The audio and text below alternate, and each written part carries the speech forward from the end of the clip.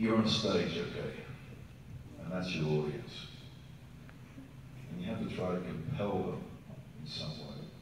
So all you got to do, right, is you got to say something that makes them feel. Uh, now, I think the most honest thing that you could say is your name and how old you are.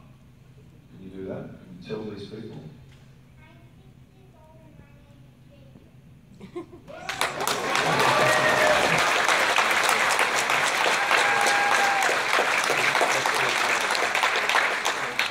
Now there? And it was so simple. And it was the truth. All you did then was you told the truth. And these people listened to. And it was an incredible exchange.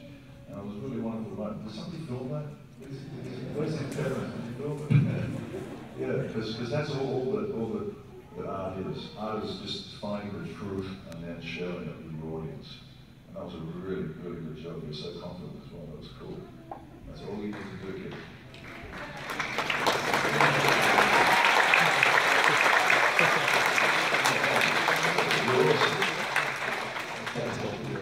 Do some school plays. You know, you, you're, you're at school, they're doing school plays. You do school plays. Yeah, do, do some of those. you better find a school that does school plays. Christmas shows